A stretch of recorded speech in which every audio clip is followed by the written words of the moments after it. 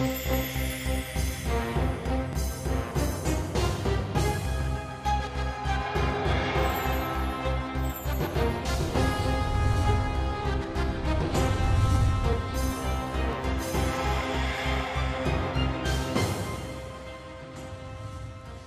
تحية لكم مشاهدينا الكرام. فرضت العملية العسكرية في محافظة الشبوة وإعلانها من قبل المحافظ عوض العولقي وناطق باسم التحالف العربي تركي الملكي محافظة محررة وانطلاق عملية عسكرية بالأمس لتحرير المديريات الجنوبية لمحافظة مأرب.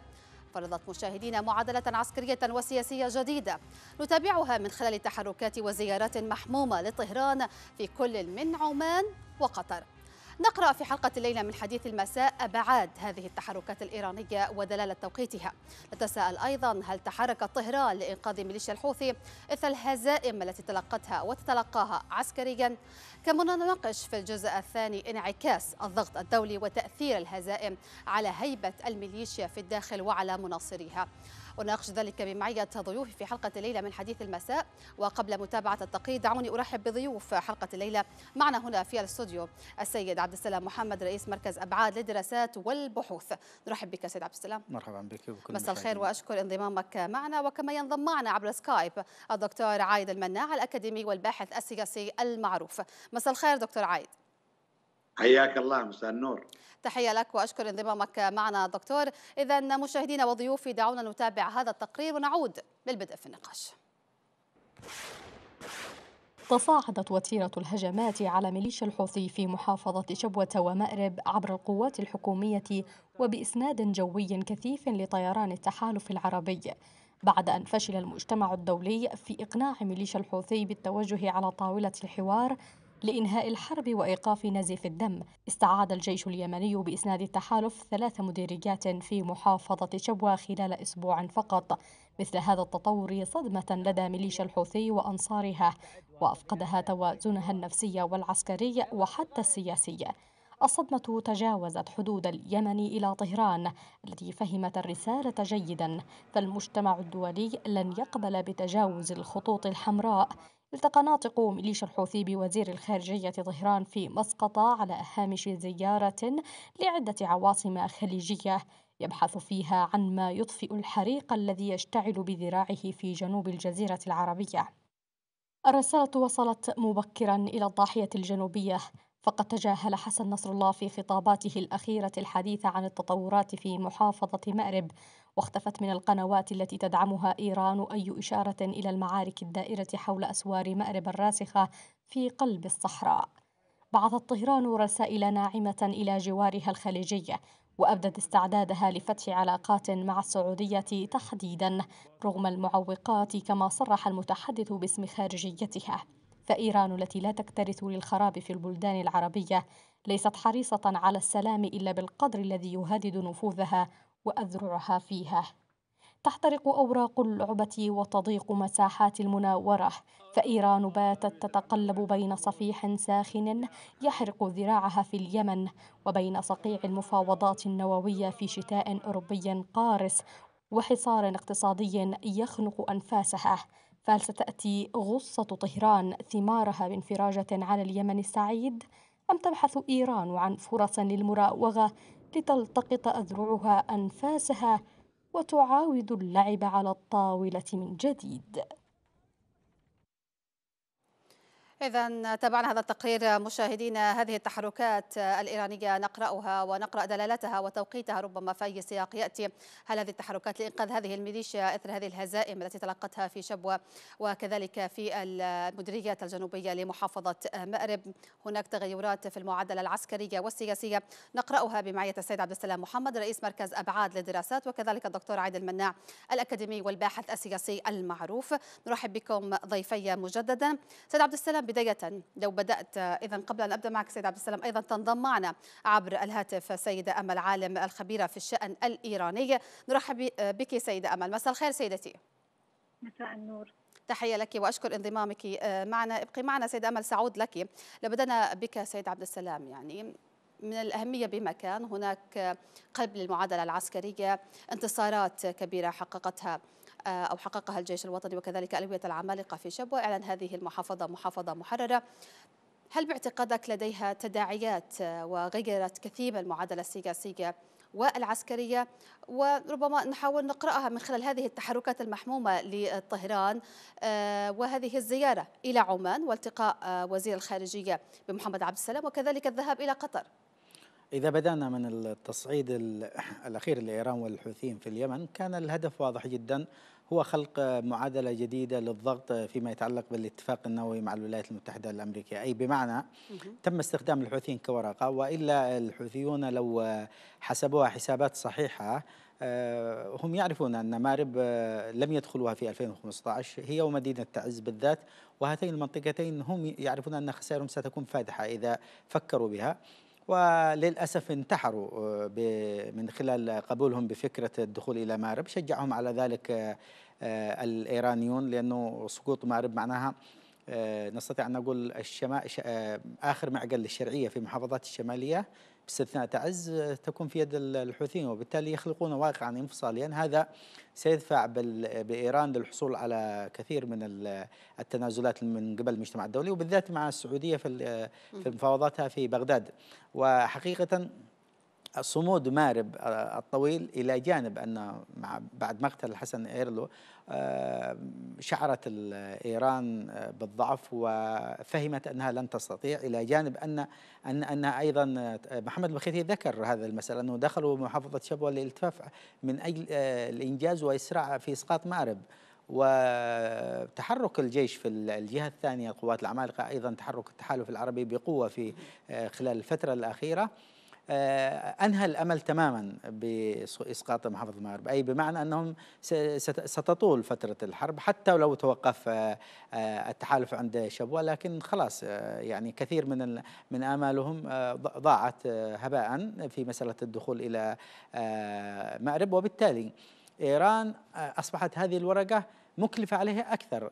فإذا فإذا أنها لم تنجز أو سقطت عليها ورقة مأرب قبيل بدء المفاوضات معناه أن ورقة من أوراق الضغط انتهت بالنسبة لها أما إذا خسرت الحرب وتوجه الجيش لإسقاط محافظات أخرى كانت الحركة الحوثية قد توسعت بدعم إيراني هنا ستكون مسألة أكثر خسارة عليها وبالتالي لا بد عليها أن تتقدم تنازلات في هذه المفاوضات جميل. وفي المجمل وفي المجمل منذ مقتل سليماني آه، آه، الحرس الثوري بدأت أيديه تضعف آه، في في في في في, في الإمساك ب يعني قدراتهم في المنطقة بشكل عام. نعم تم إضعاف هذه القدرات كما تحدث سيد عبد السلام الكثير من النقاط.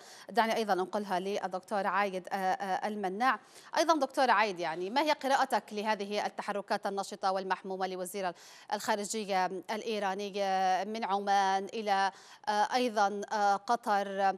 هل تلاحظ أيضا أن هناك معادلة جديدة تم خلقها الآن من خلال هذه الانتصارات في شبوة؟ وأيضا بالأمس انطلقت عملية عسكرية لتحريم مديريات الجنوبية لمأرب. ما هي قراءتك؟ في أي سياق تأتي هذه الزيارات؟ تحياتي لك ولضيفيك الكريمين الأستاذ عبد السلام والأستاذة أمل وللمشاهدين الأعزاء. أنا أعتقد آه، يعني أولا أشارك أخي عبد السلام بأنه آه، الحوثي ارتكب عملية انتحارية بالاتجاه نحو شبوة ونحو مأرب. لأنه الحقيقة تمددت خطوط الإمداد وأصبح مكشوف فبدأ القصف الجوي المكثف عليه وأنهكه وأدى إلى آه، قتل أعداد كبيرة تقدر يمكن الآن حوالي 37 ألف حسب اعتراف الحوثيين آه، من خلال القتل للأسف الشديد. ما ودنا أن واحد يقتل حتى من هذا الطرف. الحقيقة أنا أعتقد أن العملية آه، بالفعل هي إيرانية للتفاوض في هذه الورقة آه، مع المجموعة الأوروبية والولايات المتحدة الأمريكية والظهور بأنه إيران لديها مخالب في كل مكان في لبنان في العراق في سوريا وفي اليمن وبالتالي تستطيع أن تحدث إرباك بالمشهد السياسي. الآن بالتأكيد شعر آه، آه، متخذ القرار الإيراني أن القضية لن تقتصر على مقتل حسن إيرلو وربما حتى بعض القيادات الحوثية التي لم يعلن عنها رسميا. والأهم هو أنه بدأت عملية مكثفة لطرد الحوثيين من جنوب مارب. وأيضا من شبوة وبالتالي بدأت عملية هذه العصابة تنحسر. تنحسر إلى حد كبير وبدأوا يوسطوا القبائل والشخصيات لتأمين انسحابهم من المناطق التي كانوا يحتلونها. نعم. أنا أعتقد أن المحاولات الآن لزيارة عمان وزيارة قطر هي الحقيقة لعملية التوقف التهدئة والحديث مجددا بتكتيك جديد أن ممكن نتفاوض ما تفاوضنا بالكويت تفاوضنا بعمان تفاوضنا بستوكهولم دعونا نتفاوض ونصل وهذا الحقيقة هذا يعني هذه العبارات نعم. تطرب الغرب يعني صح. الغرب يحب أن يكون في تفاوض وحل وإلى آخره صحيح. لكن أنا أعتقد ويعني ونفس إيران بالمفاوضات طويل دكتور عايد نعم نفسها طويل وصبورة جدا والآن هي آه، تدعي بأنه في تطور بالمفاوضات مع الدول الغربية مع العلم أن الغربيين يقولون ليس هناك تطور. والأمل عندها هو أن تصل إلى مرحلة امتلاك القنابل النووية ولديها صواريخ فممكن يكون هذا تهديد للعالم وإخضاعه لإرادتها وهذا طبعا باعتقادي حلم طوباوي غير واقعي. جميل. سأعود لك دكتور عايد ابقى معي تحول الآن للسيدة أمل عالم. نقطتين مهمتين تم ذكرها من قبل السيد عبد السلام وكذلك الدكتور عايد. بما يتعلق ب يعني من خلال أيضا متابعتك للشأن الإيراني هل فعلا إيران أصبحت الآن ربما ورقة مأرب مكلفة عليها وهي فشلت هناك؟ سيدة أمل؟ قبل أن أنتقل آه. لمسألة ربما أيضا تحدث الدكتور آه، آه، عايد أن أيضا لم يتوقف الموضوع عند مقتل إيرلو. الآن تعدى الموضوع ل يعني تقدمات جديدة ومعادلة عسكرية جديدة سيدة أمل. صحيح. إيران كانت تراهن بشكل كبير على حسم الأمور في مارب بشكل سريع لصالحها بحيث يلعب ذلك دور في بشكل إيجابي في مفاوضاتها النووية مع الغرب. طبعا إيران هي قليلة الخبرة في المجتمع اليمني وطبيعة البيئة اليمنية. لذلك على الأرجح أن حساباتها آه، لم تكن دقيقة وتوقعاتها أيضا كانت مرتفعة. لكن آه، جاءت الرياح بما لا تشتهي السفن الإيرانية. آه، لذا حتى أنه في, ال في يعني مؤخرا عندما كان هناك يعني مفاوضات سعودية آه، إيرانية. كان الرد الإيراني أنه في حال رغب السعوديين في حل الأزمة في اليمن عليهم آه، الذهاب إلى حزب الله. آه، الآن الأمور اختلفت بشكل جذري. أصبح الإيرانيون يظهرون بعض المرونة الغير معهودة عنهم في المفاوضات النووية. مثلا مؤخرا التقى ممثل روسيا بالجانب السعودي. نعم. وفي وقت سابق كان الإيرانيون يرفضون إشراك أي جانب إقليمي في المفاوضات النووية. آه، ربما الآن يتحرك فعلا الإيرانيون. آه، طبعا الزيارات آه، الزيارات الحالية تحمل أكثر من أهداف، الهدف الرئيسي طبعا هو الملف النووي. قد تكون راغبة في إدخال وسطاء لتنقل وجهة نظرها بحيث لا تصل هذه المفاوضات إلى طريق مسدود. وبما أن أيضا الوضع العسكري للحوثيين يلعب دور كبير في المفاوضات النووية فليس من المستبعد أنه يكون زيارة الوزير الوزير قد حملت مقترحات لحل سياسي جديد آه، كنوع من المماطلة وإعطاء الحوثيين فرصة أيضا لكسب وقت وإيجاد طريق لإرسال أسلحة أيضا آه، للحوثيين. ربما أيضا سيده أمل رئيس لجنة الأمن القومي في البرلمان الإيراني يتحدث أنه أكد للرياض أن الأزمة في اليمن هي أزمة داخلية ومستعدون آه، ربما للوساطة والتفاوض أيضا يؤكدون للرياض. في أي سياق يمكن قراءة هذا آه، هذا التصريح؟ طبعا هو من السياق العسكري والوضع العسكري الحالي يعني اختلفت التعاطي التعاطي الإيراني مع الملف اليمني اختلف بشكل كبير. عن ما قبل الانتصارات الحالية في شبوة والاتجاه أيضا باتجاه مناطق أخرى نعم. عن آه، قبل آه، تحرك الوضع العسكري في السابق. نعم. ابقي معنا سيدة أمل أيضا في هذه النقطة سيد عبد السلام. كيف تقرأ هذه التصريحات؟ حاليا مستعدون للوساطة ويؤكدون للرياض يعني وهل هذه أيضا ربما تندرج ضمن الرسائل الناعمة الآن من قبل طهران للخليج وتحديدا للمملكة العربية السعودية؟ إيران لديها مؤسستين واضحتين المؤسسة السياسية الخارجية الإيرانية والمؤسسة العسكرية الحرس الثوري الإيراني. فعندما تجد ميليشياتها فرصة في التقدم والضغط والسيطرة ويعني الدعوة أو, أو, أو, أو الاعتداد بذاتها وبانتصاراتها في اليمن آه، هي يتحدث الحرس الثوري الإيراني. ولكن عندما تهزم وترى مشاريعها تتساقط يخرج تخرج الخارجية وتتحدث عن الحلول السياسية إيران دولة تنفذ سياساتها بأدوات خشنة ولا مجال هنا للدبلوماسية إنما الدبلوماسية تستخدم استخدام كوسيلة فقط جميل. وليست ك... ك... كاستراتيجية بالنسبة لإيران نحن نعرف أن إيران دولة عسكرية آه، يقودها الحرس الثوري ودولة فوضوية ودخولها في أي دولة تدخل بالجانب المسلح والعنيف وبالأدوات الخشنة لا تدخل بأي قوة ناعمة اطلاقا لا باقتصاد ولا بشيء آخر. وبالتالي نحن نقول أنها دولة الحرس الثوري الإيراني وعندما تضعف هذه الدولة في مكان ونفوذها يضعف في أي مكان تستدعي الخارجية الإيرانية. تعالي صرحي وتحدثي عن الحوارات السياسية في المنطقة. نعم وهذا طبع إيران. أيضا في نفس هذه النقطة دكتور عايد ما هي أيضا قراءتك؟ يعني يا سيد عبد السلام يؤكد يعني يعني هكذا هم الإيرانيون صقور وحمائم. متى ما يصعدون يعني يخرج مسؤولون ويصرحون. وكذلك عندما تكون هناك ربما يعني ضغط من قبل أمريكا ربما تأتي مثل هذه التصريحات. فكيف تقرأها؟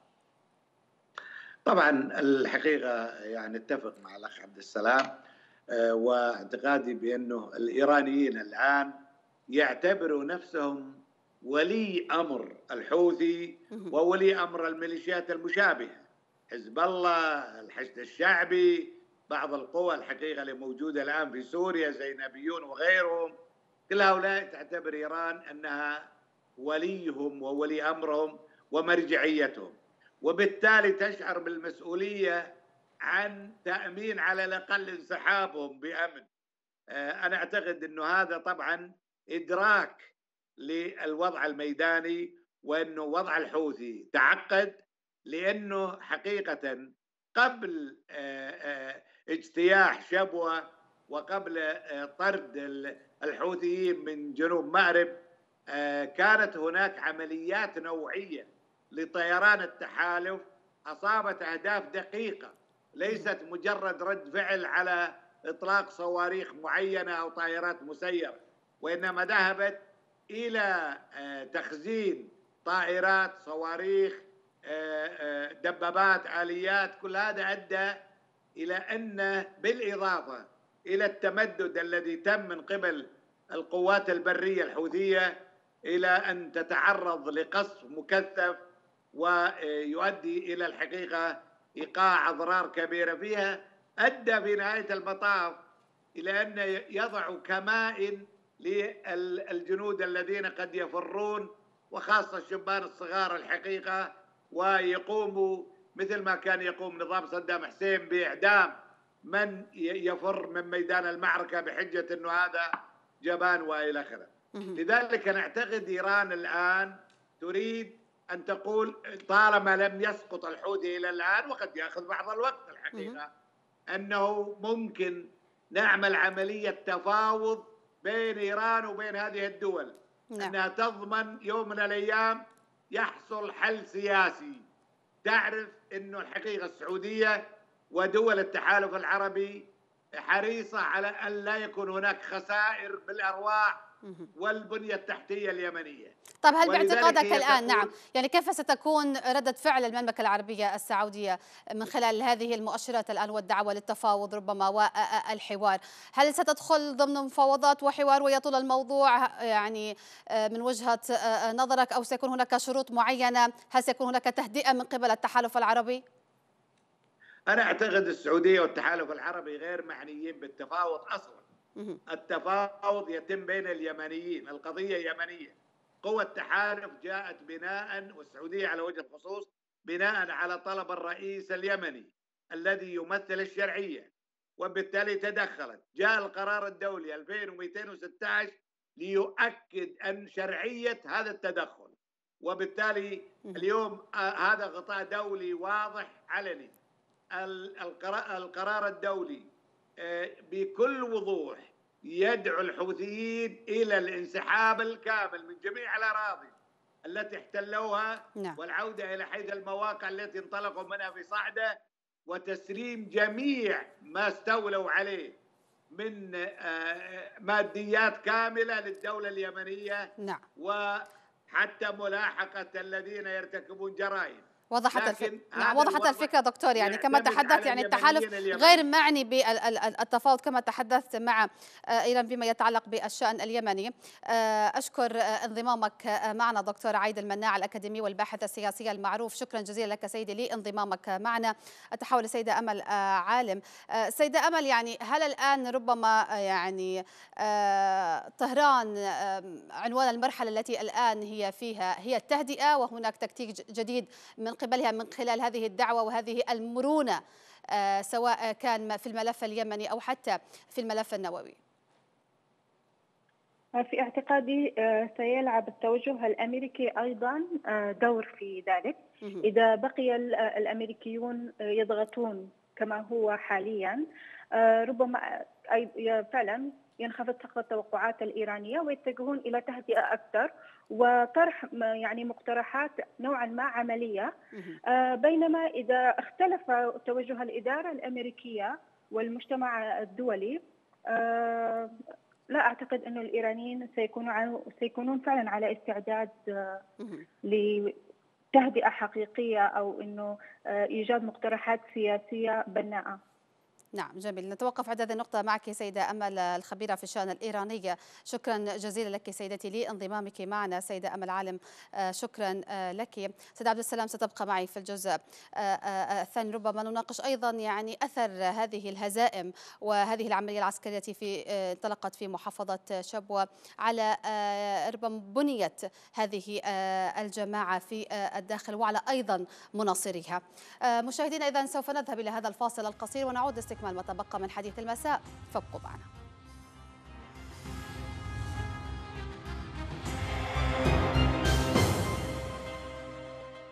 نرحب بكم مجددا مشاهدينا الكرام مستمرين في حديث المساء. ناقشنا في الجزء الأول ربما يعني التحركات النشطة من قبل طهران إثر العملية العسكرية التي انطلقت في محافظة شبوة وكيف قلب المعادلة العسكرية والسياسية. الآن ربما نتحدث عن أثر وارتدادات هذه الهزائم بالنسبة لهذه الميليشيا على ربما بنيتها الداخلية وأيضا على مناصرين هذه الميليشيا. بما يتسيد عبد السلام محمد رئيس مركز أبعاد للدراسات والبحوث. سيد عبد السلام ما هي ربما ارتدادات هذه الهزائم الآن على الميليشيا سواء كان في شبوة الآن في مأرب وأيضا هناك يعني كما نلاحظ ضغط أيضا دولي على هذه الميليشيا. طبعا قبل الذهاب إلى مسألة الارتدادات اولا نحن محتاجين تشخيص حقيقي لهذه الجماعة كقيادة هي تعيش كانت كجماعة أيديولوجية عنصرية سلالية مناطقية أيضا أحيانا ولها ارتباطات بالخارج أكثر بقرارات الخارج. الذي وهذا الذي منع انهيارها سريعا. ولكن حقيقة الأمر هي تحولت الآن من جماعة طائفية أنا أستطيع أن أقول أيديولوجية إلى جماعة حاقدة مصلحية. أصبح التنافس المصلحي المالي يطغي على الجانب الأيديولوجي وهذا خلق صراعات داخلية. وبالتالي هذه واحدة من الارتدادات التي تحصل ستضرب نواة هذه الجماعة وقوتها الصلبة في الداخل في تنظيمها وبنيتها. وهذا ما نراه الآن من الحديث عن الصراعات الداخلية.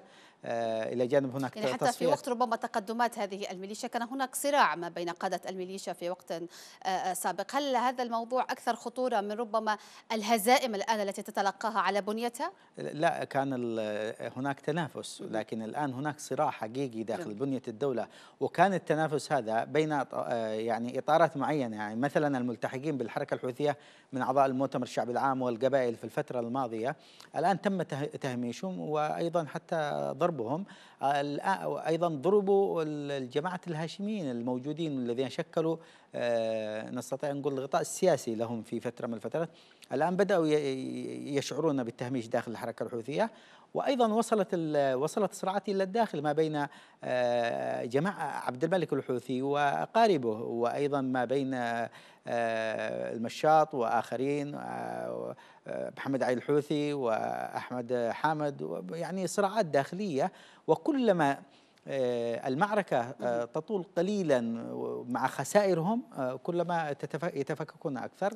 وأنا أرى ان ان مقتل حسن إيرلو سواء مقتله أو وفاته في الأخير أثر تأثير كبير جدا على هذه الجماعة. لأن قلت أنها دائما بقي لها جانب من القوة بسبب سيطرة الخارج عليها. لكن الآن تنكشف أكثر وأنا باعتقادي خلال الأيام القادمة فقط إذا التحالف استمر في الضغط العسكري وليس السياسي فقط. الضغط العسكري, العسكري مهم صحيح. وأسقط مناطق آه، حاكمة بالنسبة لهم يعني عاد الجيش إلى محيط صنعاء آه، ربما يأخذ حتى بعض المحافظات الاستراتيجية لهم بالذات المحافظات التي ذات آه، أهمية عسكرية مثل البيضاء مثل يعني محيط ذمار وإب أيضا لأنه لأنه إذا تحرك الجيش من دمت الضالع ممكن يوصل إب جميل. وبالتالي أيضا إذا عاد الجيش إلى نهم هذا وهذا الذي نتحدث عنه إذا يعني. إذا تم تحرير الجوف أن تستمر هذه العمليات وهي بطبيعة الحال سوف تنهار هذه الميليشيا كما تحدث لأنها تستمد قوتها من الخارج. سأعود لك سيد عبد السلام الآن ينضم معنا عبر الأقمار الصناعية عفوا السيد عادل الأحمدي رئيس مركز نشوان الحميري للدراسات والإعلام. نرحب بك سيد عادل. مساء الخير سيدي. أهلا وسهلا بك مساء الخير أستاذ أماني مساء الخير الأستاذ عبد السلام. ولكل المشاهدين الأكارم أشكر انضمامك معنا سيد عادل. إذا نحن نتحدث ربما عن ارتدادات هذه الهزائم الساحقة لهذه الميليشيا الانقلابية في محافظة شبوة والآن أيضا عملية عسكرية آه، في آه، جنوب محافظة آه، شبوة انطلقت بالأمس. كيف تقرأ الآن أثر ذلك على هذه الميليشيا؟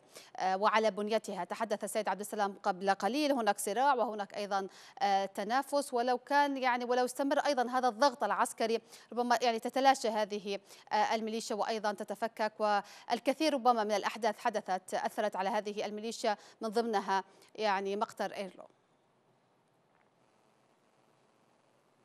آه، بالضبط آه، كما ذكر الأستاذ عبد السلام هناك طبعا خمسة مستويات من من الانقسامات أو من الارتدادات على هذه الانتصارات الجمهورية والانكسارات الإمامية.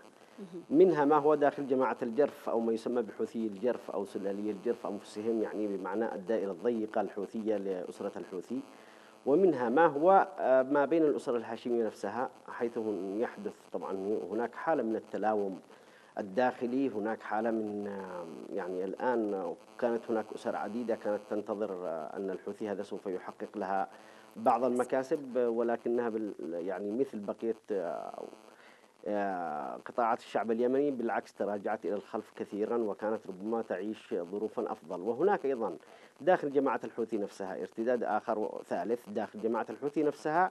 آه، ما بين آه، هذه الأسر وما, وما بين المخدوعين من أبناء القبائل الذين هم يعني يوما عن يوم يكتشفوا أنهم يعني كانوا يعني في في يعني في وقعوا في فخ يعني آه، دعمهم لجماعة عنصرية تعتبرهم طبقة ثانية وكذلك ما بين الجماعة ككل وبين المجتمع وخامسا ما بين الجماعة وما بين الداعم لا لا شك أن هناك آه، أيضا سيحدث تلاوم كبير أيضا ما بين آه، نعم.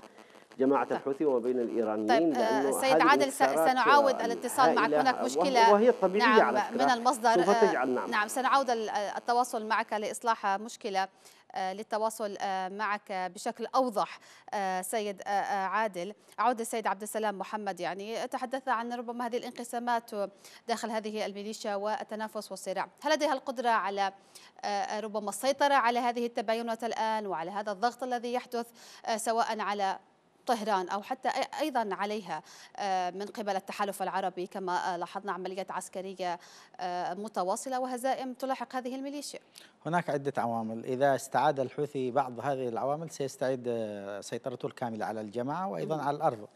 من ضمن هذه العوامل أنه تخدير المجتمع الدولي بمسألة السلام وبدء الحوار. وأيضا إيقاف العمليات العسكرية من أجل إيقاف العمليات العسكرية للتحالف. هذه المسألة إذا استطاع الحوثي يعيد يبدأ ترتيب أوراقه. الجانب الثاني هذا على المستوى ربما الخارجي. داخليا مناصرين. داخل هل يستطيعون الحشد ويعني كما في السابق؟ يعني دعني أذكر لك يعني ربما الأخبار تتحدث أن ميليشيا الحوثي اعتقد بعد الدعاء بعض الدعاء الزيديين في محافظة عمران على خلفية دعوتهم بعدم جواز القتال تحت قيادة عبد الملك الحوثي. ربما يعني ربما هذا تحرك يعني في إطار ضعيف ولكن من المهم أن تكون هناك مثل هذه التحركات الآن في هذه المناطق؟ هي كلها عوامل مرتبطة. العامل الثاني عامل إذا استطاعت إيران أن ترسل بديل آه كقائد عسكري بدل حسن إيرلو. نعم. هم يسربوا أن شهلاي سيكون هو البديل. لا أدري مدى الصحة يعني لا زالت التقارير آه تقارب ما بين مقتل شهلاي وإيرلو وهل هو أم لا. النقطة الثالثة والأهم إذا حصل فعلا بقيادات الحركة الحوثية يعني بعض القيادات قتلوا فعلا هم محتاجين الآن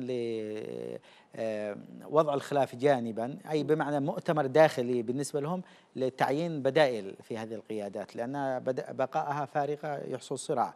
الجانب الآخر كيف يمكن تخدير المحيطين بهم؟ هم هم استطاعوا أن يخدروا القبائل ويخدروا الجماعة الزيدية اللي بقيادة عبد العظيم الحوثي. نعم. ويخدروا أيضا الهاشمين يحيى الشامي وغيره وخدروا كل المحيط من حولهم. الآن عندما استغنوا عنهم هم نستطيع أن نقول أن استعدوهم تماما. وبالتالي ما بعد هذا بدأ المحيط يرج بالنسبة لهم. الآن يريدون المعاودة لتهدئة هذه المناطق وهذه الجبهات الداخلية. أنا باعتقادي الحاسم في هذا الأمر العمليات العسكرية. نعم. إذا استمرت العمليات العسكرية كل يوم تستمر يخسر سنة الحوثي من سنوات نصره. هل لديهم القدرة على استثمار هذه الخسائر؟ الحوثي؟ نعم. داخليا؟ أنا أنا أنا باعتقادي كلما استمرت الحرب لا يستطيع تعويضها إلا في حالة واحدة. إذا توقفت العمليات العسكرية إذا توقفت العمليات العسكرية تستطيع إيران في ظرف شهر إعادة ترتيب منظومتها الداخلية منظومة الحرس الثوري في اليمن منظومة الحركة الحوثية منظومة المحيط المجتمعي والقبلي والمذهبي الداعم للحركة. وقد يصل بهم إلى عملية تصفيات كبيرة لكثير من القيادات المخالفة لهم. لكن هذا عائد على العمليات العسكرية. أما إذا استمرت العمليات العسكرية لا إيران تستطيع الآن في هذا الظرف ولا الحركة الحوثية أن تستجلب جزء من قواها وأنا باعتقادي يصل الصراع إلى درجة التصفيه داخل القيادات الأساسية الداعمة للحرس الثوري الإيراني. نعم ربما دعنا يعني تحدثنا أيضا عن تخدير دولي بالدعوة للسلام، هل هذا يعني ربما يجد أذان صاغية لدى المجتمع الدولي وحتى الإقليمي دعوتهم إلى السلام وأنهم الآن يعني هم دعاة سلم وليس حرب؟ المجتمع الدولي هو بين فئتين فقط. مجتمع يقول سنقبل بضغط قليل من أجل قبول الحوثي بعملية سلام والجزء الآخر من المجتمع الدولي لا يرى في ذلك بالأساس أنه لا يقبل الضغط على الحوثي. وإذا حصل ضغط يقوم بكثير من إجراءاته من ضمن التقارير والبيانات ويخرج ملفات حقوق الإنسان وأزمة الفقر في اليمن والمجاعة صحيح. والقضايا الإنسانية والأمم المتحدة تحذر. هذا المجتمع يعني مجتمع منافق يعني. عندما تعرضوا النازحين في مأرب للضرب والقتل وللتهجير ومأرب يعني كانت في في مكمن خطر وبداخلها ثلاثة مليون نسمة ولم يتحرك هذا المجتمع الدولي. يتحرك اليوم المجتمع الدولي ويصيح على على منطقة بداخلها بضعة مئات. وبالتالي هذا المجتمع الدولي لا يرى بالأساس في إضعاف الحركة الحوثي أي مصلحة له. هو يرى عدم الضغط لكن بدون إضعاف الحوثي. لأنه يرى الحوثي قد يكون أحد أذرع هذا المجتمع الدولي في الفترة القادمة في المنطقة بالذات ضد السعودية. يعني لا يريدون القضاء عليه. لا يريدون الحسم آه، المعركة ضد الحوثي أو إضعافه حتى. يعني هذا متفق وهو عليه. يدري ذلك وهو يستثمر ذلك حاليا. بالنسبة للخليج الخليج يرى إضعاف الحوثي لكن لا يرى في الحسم. وهذه مشكلة أيضا نواجهها نحن اليمنيين. صحيح. طيب سأعود لك سيد عبد السلام. عاد معنا السيد عادل الأحمدي رئيس مركز نشوان الحميري للدراسات والإعلام. نرحب بعودتك مجددا سيد عادل. كنت تتحدث عن خمس مستويات لهذه الارتدادات الآن على هذه الميليشيا جراء هذه الهزائم التي تتلقاها وأيضا الضغط الحاصل لها من قبل التحالف العربي. آه، تحياتي لك مجددا. لا أدري إن توقفنا بالضبط لا أدري إن إلى أين استمر الكلام لأني ذكرت الخمس المستويات. لا ما أود التأكيد عليها الآن بناء على ما ذكر أن آه، لا لا أعتقد أن أن جماعة الحوثي كانت لديها قوة مختلفة عن قوتها الحالية أيام إيرلو رغم أهمية إيرلو طبعا ولا أعتقد أن إيران لا يعني بشهلائها أو بغيرها قادرة أنها تستعيد قوة الحوثيين مثلا أو كأنها ترمم قوة الحوثيين آه، إذا كان هناك إرادة متواترة ومتواصلة ومستمرة باتجاه الحسم. الذي حادث كان في الأيام الماضية ما جعل الحوثيين وكأنهم عبارة عن قوة لأنهم هم يهاجمون والقوى الاخرى تدافع في مواقعها لم يكن هناك هجوم. اعطني موقفا أو معركة واحدة آه، لكافة التشكيلات العسكرية سواء في المأرب في الساحل في شبوة في كل مكان في في البوقع في آه، حجة أي آه، يعني معارك بنيت على الهجوم ينتصر فيها ولا شك الجيش الوطني لا شك في ذلك وينهزم فيها الحوثي. الحوثي بعد ذلك هو الذي آه، أخذ زمام المبادرة وعندما توقفت الجبهات كنقاط صد بالتأكيد أحيانا الجبهة مهما كانت قوتها من أجل الصمود يصعب بعد ذلك بقائها المسألة مسألة وقت. إذا استعادة زمام المؤامرة من جديد. آه، أو آه، استعادة زمام المبادرة من جديد. في في نعم في مسألة الحسم أو في مسألة الهجوم بالتأكيد هو يعري الحوثي ويظهر حجمه الحقيقي عسكريا وشعبيا وسياسيا. وهذا الذي بدأ الآن منذ أن بدأت عملية إعصار الجنوب في شبوة. وكذلك الآن مع عملية حرية اليمن السعيد. طيب من وجهة نظرك أيضا سيد عادل الآن هذه الارتدادات العسكرية على هذه الميليشيا هل ستؤثر على بنيتها الداخلية الآن؟ هل هي قادرة أيضا على السيطرة؟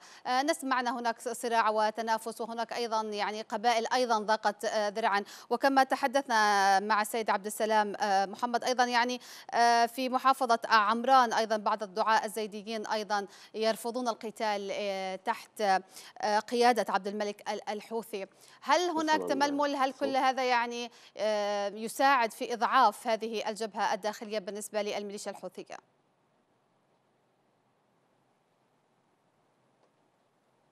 سيد عادل؟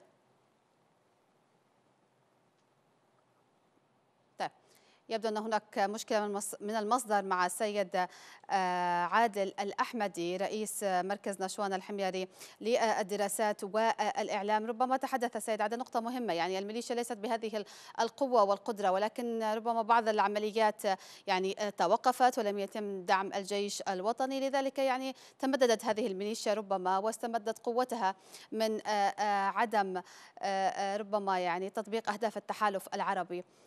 سؤال كبير الآن. هل باعتقادك هذه العمليات سوف تستمر؟ هذا الضغط أيضا على الميليشيا سوف يستمر؟ هل سيكون هناك تهدئة حاليا من خلال أيضا يعني هذه التحركات لطهران؟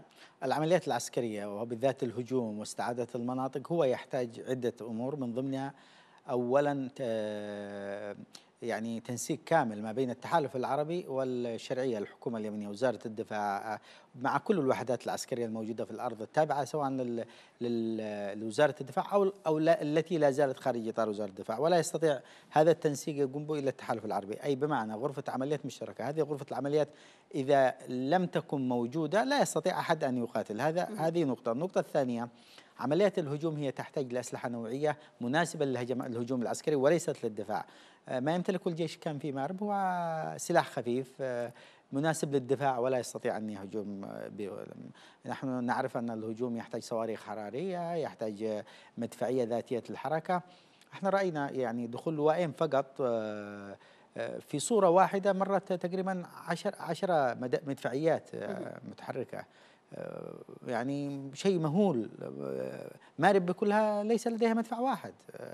من من من هذه المدافع النوعية نعم. بالتالي أنا باستطاعتي أقول إذا غرفة العمليات استمرت التي بنيت من أجل تحرير ثلاث مديريات في محافظة شبوة استمرت لاستعادة مديرية في مأرب والتوجه إلى البيضاء والضغط على الحوثي في وأخذ الجوف والضغط على الحوثي في محيط صنعاء وفي بقية المناطق أنا باعتقادي أن الحوثي سيزداد ضعفا وتفككا وحتى لا يستبعد أن لا نحتاج حسم عسكري داخل داخل العاصمة صنعاء وإنما نحتاج قد نحتاج آه، آه، نوع من الثورة الاجتماعية داخل العاصمة وتسقط الميليشيات بأدواتها أي ما لا نحتاج لسفك دماء كثير إذا تم الضغط العسكري في الأطراف. أم آه، المركز يتفكك ذاتيا.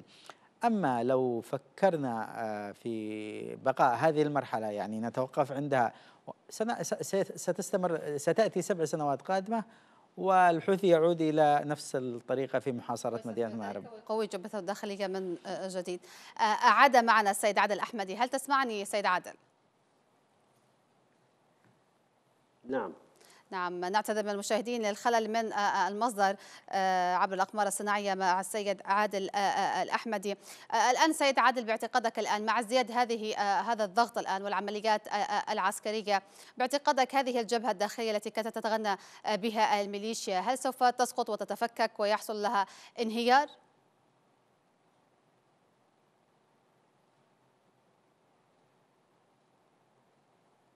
فصل الصوت يبدو أن هناك مشكلة في الصوت آه، آه، من المصدر مع السيد عادل. عموما نشكره آه، ونكتفي بهذا القدر معه السيد عادل الأحمدي رئيس مركز نشوان الحميري للدراسات والإعلام. شكرا جزيلا لك ونشكر تواجدك معنا السيد عبد السلام محمد رئيس مركز أبعاد الدراسات والبحوث. شكرا جزيلا لانضمامك معنا في حلقة الليلة.